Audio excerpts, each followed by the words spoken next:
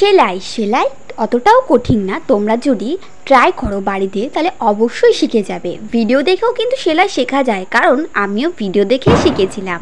তো এখানে একটি ফ্লাওয়ার এমব্রয়ডারি করা হচ্ছে। এটা প্রথমে নর্মালি একটি সুই সুতো নিয়ে এখানে ডিজাইন করা হচ্ছে।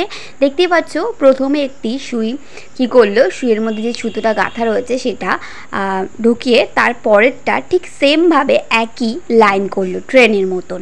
ঠিক এরকমভাবে তোমরা বাড়িতে অবশ্যই ট্রাই করবে। পাতাগুলো দেখো ঠিক এরকমভাবে ভরাট করা হচ্ছে। শুধু ফুল পাতা না আরও বিভিন্ন ধরনের আঁকার ওপর তুমি নিজে যেরকম ইচ্ছা খুশি এঁকে নিও, তারপর এরকম সুতোর কাজ করবে, দেখবে, দেখতে দারুণ লাগবে।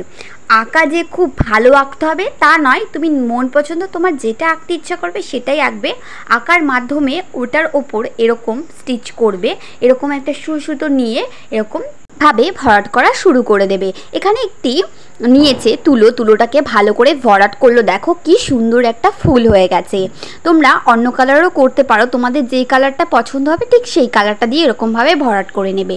দেখতে কিন্তু ভালো লাগবে। এই ফুলটার কালারটা যেরকম রেড কালার হচ্ছে ব্লু কালার ইয়েলো কালার এইগুলো দিয়ে ফুলটা ভরাট করলে বেশি ভালো লাগবে। তোমাদের যেটা ইচ্ছা হয়, যার যেটা চয়েস যার যেটা ভালো লাগে, সে সেটা দিয়েই করতে পারো। কোনো অসুবিধা নেই। আর ঠিক এরকমভাবে সেলাই করবে, দেখবে দেখতে খুব ভালো লাগবে। আর এই ভিডিওটা কেমন লাগল অবশ্যই কমেন্ট করে জানিও।